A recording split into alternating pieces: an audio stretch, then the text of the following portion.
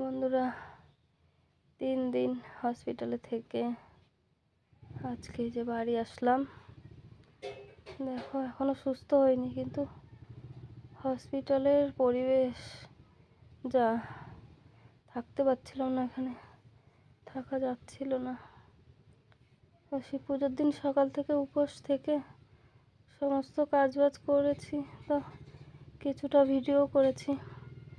তো ভিডিওটা যদি তোমাদের সঙ্গে শেয়ার করে উঠতে পারিনি, সেটা একটু ঠিক হলে তারপরে দেখি ঠিকঠাক করব সব কিছু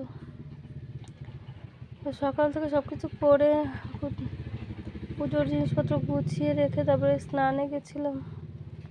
তো তখন ওই যে তো তোমরা অনেকেই আমার ভিডিওতে দেখেছ যে আমার ভিডিওতে নারকেল গাছ আমাদের টিউবওয়েলের উপরে।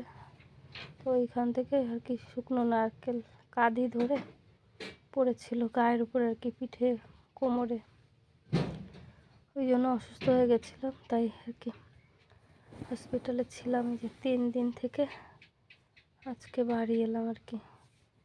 তো ব্লগ তো তোমাদের সঙ্গে শেয়ার করা হচ্ছে না। ওই জন্যই শর্টস আর কি ভাবছি শর্টসের মাধ্যমে যেটুকু তোমাদের সঙ্গে সম্ভব শেয়ার করব। তো এখনও শরীরটা ঠিক নেই, ঠিক আছে? তো চলো, এইটুকু আর কি তোমাদের জানানোর জন্য। ভিডিওটা আর কি ক্যামেরাটা অন করলাম। এখনও ঠিকঠাক করে যে শুতে পারছি না, ডান পাশে ডান পাশে পিঠে পড়েছে কোমরে, ডান পাশে একদম। বসতে পারছি না, শুতে পারছি না ঠিক করে, এই যে এইভাবে হেলান দিয়ে বসে আছি এক পাশে, বাঁ দিকে কাত হয়ে।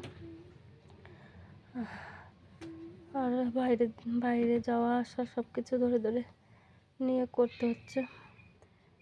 একা একা কিছুই আর কি করতে পারছি না। খাওয়া, ওঠা, বসা সব কিছু।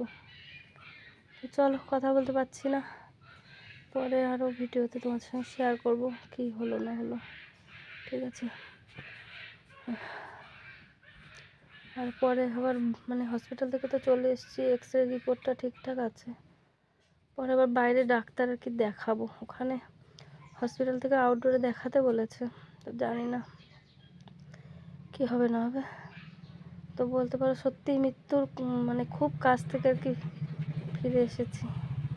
মৃত্যুকে খুব কাছ থেকে দেখে এলাম আর কি। তো চলো আর কথা বলতে পারছি না। তো তোমাদের সঙ্গে একটু ছোট্ট করে ভিডিওটা শেয়ার করলাম।